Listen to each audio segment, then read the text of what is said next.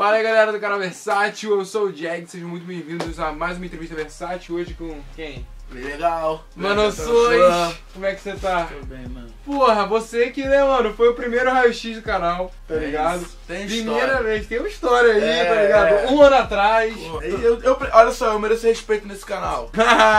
tá ligado? Das antigas mesmo, mano. Começando essa entrevista, fala teu nome aí pra rapaziada, por que do teu vulgo também. Ah, Pra quem não sabe, meu nome é Matheus Sosnojewski. E como toda criança que se chama Matheus, tem sempre três, quatro Matheus. Tá ligado? Na, Na turma na escola, no bairro. E aí as, as pessoas eram chamadas pelo sobrenome. O meu era muito difícil de ser falado. E as pessoas só falavam o Matheus Sois. Hum. Chama quem? Chama o Sois ali. O Sois, o Sois. Aí quando eu fui fazer música eu já tinha um nome, tá ligado? Ah, foi fácil então, né? Tu já tinha. Tu tá quantos anos, mano? Sua data de nascimento? 23, é. 23 anos, desde que eu nasci tem 23 anos. né? Porra, tem uma cota já, né, mano? E fala pra gente aí, tá ligado? Você é carioca, Rio de Janeiro, de nascido e Janeiro. criado aonde? Campo Grande, Zona Oeste. Porra, de casa, né? Alô, mãe. Tô no YouTube de novo. Porra, aquela forma, né, mano? Fala aí pra gente um pouco, como é que foi, pô, tua infância, tá ligado? Como é que foi o pique aí, dificuldades e tal? Pô, mano, no começo assim, vou te falar, a gente. é, minha família sempre foi de origem muito humilde, sabe? Tipo. E eles viram em mim uma chance de sair da situação que eles viviam através de futebol, porque eu novo já jogava bola desde muito novo. Uhum. E o que rolou foi que eu segui a carreira, sabe? Tipo, com 12, 12 anos, assim, mais ou menos. 11, 12 anos na igreja. Na época eu comecei a cantar e escrever. Uhum. Então eu escrevia rap, mas na época era gospel. Mas eu jogava bola e eu nunca pensei em cantar, tá ligado? A parada, desde novo, era ser jogador de futebol. Sempre foi essa parada. Eu nasci pra isso, até hoje eu acho que aconteceu alguma coisa, né? Aconteceu alguma coisa naquele caminho ali que, porra, era pra ser É, jogador de não, futebol, com tá ligado? certeza. E aí. é, chegou um dado momento da minha vida que as coisas não foram acontecendo como eu imaginei. Futebol, né? É, só que eu nunca deixei de fazer rap, entendeu? Nunca deixei de fazer rap. Ensino médico os moleques, eu vou fazer rap e tal. E aí, quando eu vi que eu ach... quando eu achei que eu não tinha mais nada pra fazer, sabe? Tipo, ah, que a minha vida acabou, eu, eu lembrei que eu ainda escrevia. Ah. Porque, tipo assim, eu era, fazia parte de um grupo dos amigos meus, 3x1, sabe? Os moleques 3x1, ó. Pra sempre 3x1. E eles eram meus amigos do ensino médio. Aham. Então qual era o lance? Eles queriam viver dessa parada, tá ligado? E eu fazia de rolê, porque eu jogava bola. Eu só era amigo dos caras, eu fazia. Aí. Só que aí os moleques cresceram, pá, cada um foi tomando um caminho, ó. Enfim, não rolou a parada pros moleques. E quando eu parei de jogar, eu percebi que eu ainda fazia a parada, entendeu? Sim. Então eu só continuei fazendo igual eu fazia. Não imaginei que o bagulho ia fluir assim. tá? Ah. Um dia eu ia virar essa parada, nunca passou na minha cabeça cantar. Ah, foda, mano. E já que você falou, tá ligado? Meio que teu objetivo era virar jogador de futebol, jogador de futebol. E tem uma influência familiar, provavelmente, nisso, né? Sim. Como é que foi a tua relação até com a tua família, pai, mãe, enfim? É, meu avô jogava bola, meu avô chegou a jogar, na época o exército tinha um time, aí meu avô jogava no time do exército. Ah, Aí meu tio jogou bola, não virou profissional, mas ele jogou a base inteira. Tipo, minha família inteira jogou bola sempre.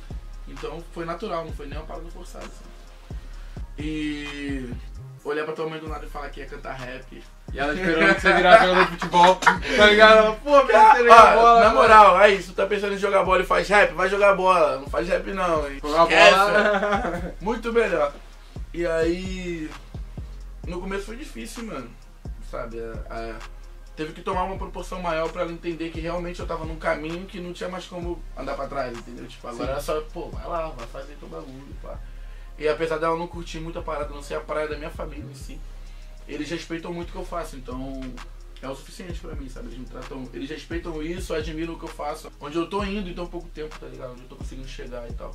Isso pra mim já vale a parada inteira, então. Saquei, saquei, mano. Porra, é, aproveitando como você falou, tá ligado? Eles estão vendo esse teu crescimento aí, que vamos dizer que é um sucesso num curto período, né, mano? Tipo, porra, desde quando a gente fez aquela, aquele raio-x lá pra agora, caralho, o bagulho ficou louco, tá ligado? É, é, é. O bagulho, o bagulho ficou É. doido mesmo. Vamos entrar daqui a pouco pra falar disso, serpentes, holofotes e tudo mais, mas como você falou, você já tá na música há um tempão, né, mano? Tipo, escrevendo pelo menos. já Sim, tem quantos sim. anos mais ou menos aí? A primeira letra que eu escrevi, eu acho que tem. Ah, muitos anos. Muitos anos. Eu era molequinho. Porque a real é que eu o que eu lembro de cabeça assim de infância é que é, uns 9, 8 anos, um dia na escola a professora cismou de que os alunos iam fazer poesia, Uhum. as melhores poesias, eu ia ganhar chocolate porque tava chegando a Páscoa, entendeu? Uhum. Ali foi meu feeling, tipo, eu fiz um bagulho e falei, pô, Da hora de escrever. escrevi um bagulho maneiro, tá ligado? Ah, escrevi um tá bagulho ligado. maneiro, mano. Mas o que me despertou pra fazer eu entender que aquilo que eu escrevi poderia ser um rap foi Gabriel Pensador e a música Brazuca, época, acho que é a música de 98, 99. E eu tava nessa fome de querer ser jogador, molequinho, sonho de infância. Eu ouvi a música e a música é a história de um cara que veio do morro e virou camisa 10 da seleção. Tipo, aquilo me pegou na hora. Ah, foi instantâneo. Tipo, na hora, na hora. E ali, ali o rap me abraçou. Tipo. E aí os meus amigos do bairro já ouviam Racionais, facção e tal. Eu até achava maneiro, mas eu não achava que era maneiro ao ponto de eu me ver fazendo aquilo. Sim. Aí quando chegou. Aí quando eu ouvi aquilo, quando eu ouvi o Brazuca, eu falei assim, pera, Bagulho doido. pera, é. Exatamente isso. Falei, sabe quando tu. O cara bateu no teu ponto fraco aí tu, porra. Maneiro. Acho que até por isso que, tipo, dentro dos seus sons, até um tópico que eu anotei que a gente precisava falar, mas já vou adiantar. É o futebol, né, mano? É, total. total. Porra, caralho, sempre. Galera, vai ver É nossas análises da música dos Sois. Futebol, mano. Futebol, futebol. Referência. Aí tá É. tendo Tsubasa esses dias, não dá pra mostrar. Aqui é a bola Ah, aqui, tá ligado. Tá Pô, vendo? É referência, né, mano? É um É. bagulho muito presente na sua vida. Foi o futebol e até hoje é nas suas músicas, né, sim, mano? sim. É natural, eu acho que cada um joga com as armas que tem. Não posso dizer que o futebol não é uma arma que eu tenho. Ah, foda, mano. E tipo assim, tu tá no corre da música, como você falou, aí escrevendo há um tempo, mas tipo, começou a gravar mesmo, fazer a parada acontecer, foi mais depois da Alclã, junto com o Alclã, ou já veio um pouco antes já tava indo pra estúdio fazer música. Não, eu comecei a fazer música com os garotos da 3x1 na época de escola, ensino médio, pá. Sim, sim. Uns 17, 16 anos, assim, sério. Tipo, fazer um grupo aqui e fazer música. Estúdio usado, É. tudo certinho. Mas aí, quando os moleques, pelos motivos pessoais deles, não conseguiram ir pra frente com o grupo, eu cheguei neles até na época que eu lembro, eu falei, pô galera, o que que vocês acham de eu lançar um som solo? Até pra não ficar um mal-estar, Clima, pá. É. Aí eles falaram, não, vai, vai, pá, lança. E aí, em 2017, eu lancei meu primeiro som solo. E dali mudou. Dali mudou, tá ligado? A galera do meu bairro, Campo Grande, já parou pra me ouvir, começou a me ouvir e tal. E aí, em um ano, eu lancei minha mixtape. Um bagulho meu mesmo, tipo, independente então. Só com a rapaziada da área que me abraçava mesmo, me dava moral pra fazer. Sim. Aí eu fui lá, construí, fiz junto com eles. E um ano depois eu já tava na Uclã e a Uclã já tava, tipo, tudo muito Fazendo rápido, trampo. foi uma avalanche. É, então, meio que, cara, é foda, tá ligado? A gente fez entrevista com eles todos da Alclã, com Luz, enfim, contigo. E todo mundo fala isso, né? O quanto foi meteórico o bagulho da Alclã, né, É. mano? Que realmente as músicas de vocês começaram a dar muito certo, o bagulho pá, pá, pá, pá, pá, foi acontecendo, tá ligado? Muito foda. E até, antes de prosseguir dentro da sua carreira solo, referência, mano. A gente vê que tu tem um estilo muito particular. Você é o SUS. Quando. Uhum. Se eu fechar o olho aqui e botar uma música pra tocar, eu vou saber que é você que tá cantando ali, tá ligado? É, Não é nem um é. pouco genérico. É fora da curva. Mas sua referência, quais são as tuas referências assim, tipo, pra música, tá ligado? Cara, eu vim do. Na real, eu vim do RB. Eu vim do RB total. O primeiro som que eu fiz foi um rap, mas o refrão era cantado. E na Sim. época, eu queria fazer um. O, eu queria fazer RB, eu não queria cantar rap. Aham. Aí eu falei, eu vou fazer um refrão cantado aqui, vou fazer o refrão, só que eu vou fazer uma rima. Eu vou pegar a galera do rap pra mim, que eu ouvi a parada e gostar da rima. Mas eu queria cantar, entendeu? Só que eu fiz a rima, a galera gostou tanto da rima que eu não saí da rima até hoje. É, Aí ou tá aí, isso, né? Tá, tá acontecendo, né? É, graças a Deus, mano. Porra, mano, tá acontecendo da melhor forma hoje. O SOS que, porra, já é intitulado aí, ainda mais agora depois do álbum, pô, o mais gringo do RJ. É o que falam aí, né, mano? Telefone nunca para. tá ligado? O que, que você se acha aí, cara? Um cara muito gringo? Você acha que realmente você tem um. Cara, eu acho divertido. É, é bagulho, eu acho que é o estilo, tá Eu, ligado? eu, vou ser bem sincero, eu, eu acho uma parada diferente. Eu acho uma parada diferente. Tipo assim, fiz desde o começo, quando eu me encontrei, eu falei, não, vou fazer pra ser diferente. Se vai ser bom ou ruim, não importa. Não importa se a Vai pessoa ser eu, vai tá ouvir. ligado? Eu quero que a pessoa que não goste de mim, a três quarteirões, ouça o bagulho baixinho e fale assim, ah, tá tocando sujo. Essa é a Já parada. valeu, mano. Essa é a parada. Pelo menos não. Se vai achar bom ou ruim, é uma outra conversa. Agora, você ser autêntico ao ponto da pessoa do outro lado da rua saber que é você que tá tocando sem Isso estar é a no melhor lugar, coisa. é, é o objetivo principal desde que eu entrei no bagulho, entendeu? Tipo, eu sempre prisei isso. Então, eu fico feliz de começar a entender que essa parada realmente está acontecendo do jeito que eu imaginei.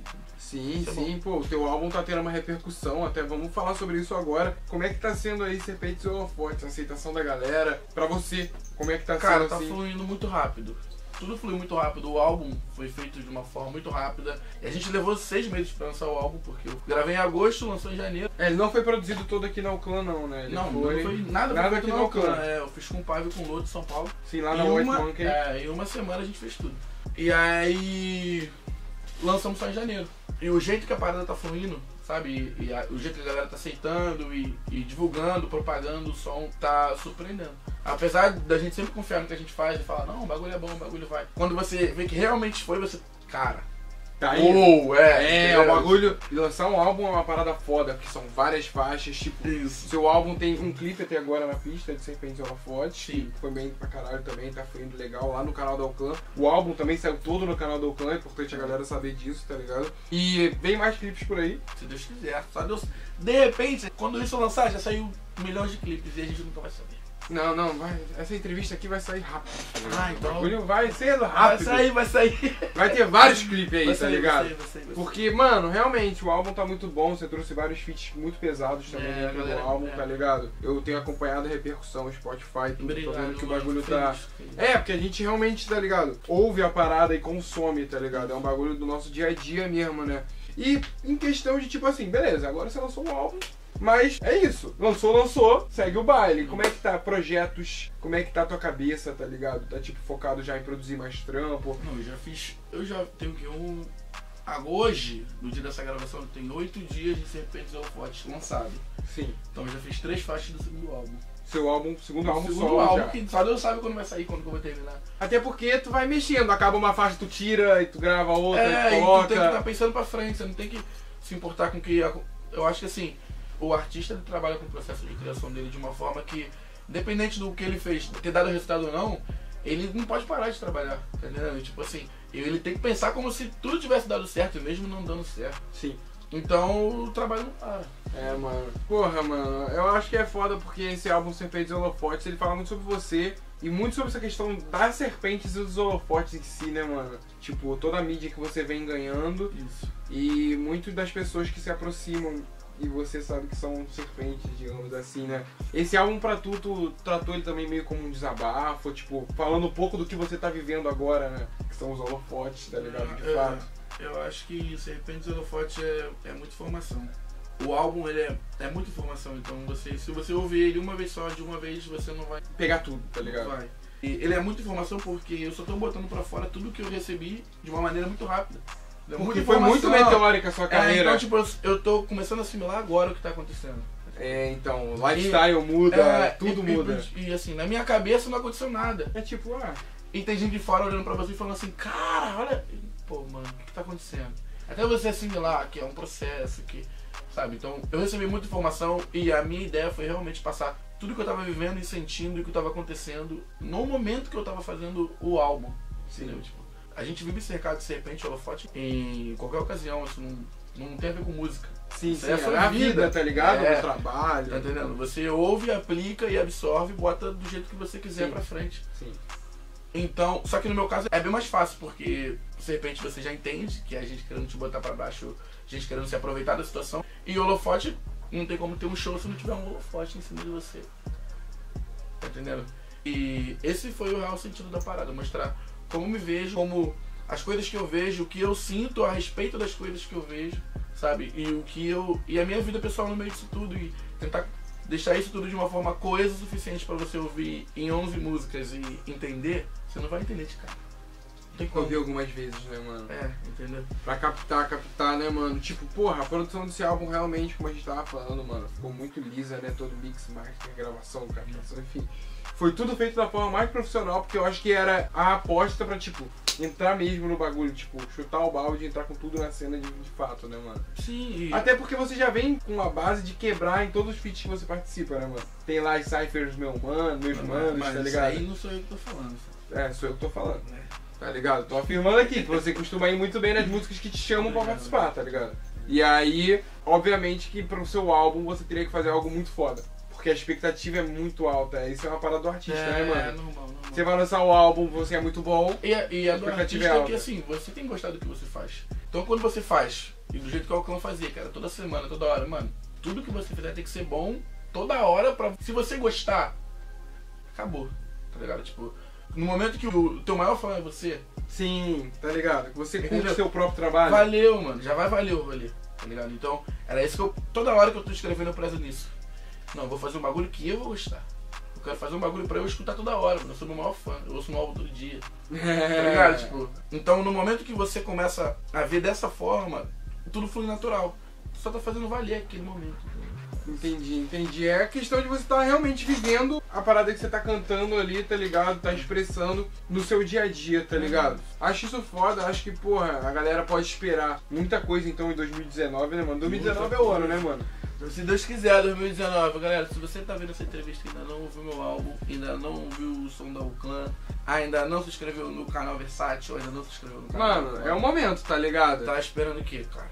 E, cara, é isso. Só queria pra poder encerrar, na real, uma pergunta que eu sempre faço no finalzinho. A galera até se pergunta por que, que você pergunta isso no final. Mas é porque é muito pessoal, assim. Tipo, a galera te vê, assim, dando entrevista, a galera te vê cantando, vê no show, mas a galera não sabe o que, que você ouve, tá ligado? Uhum. Já parou pra pensar que seu público não sabe o que você escuta no teu fone de ouvido? Mas, mas agora eles já sabem que eu não gosto tanto assim de trap. É, Ah. já ficou meio claro aí, né, pra quem ouviu. Ah. E eu acho que você pode falar isso até pra gente encerrar isso aqui uma classe, tá Claro, ligado? O claro, que, que tu claro. curte ouvir no Pode teu fone de ouvido? O que, que você ouve pra ir jogar um basquete, tá ligado? eu ouço rap, eu ouço trap sim, mas eu não gosto tanto assim, galera. Isso é fato, fato, fato.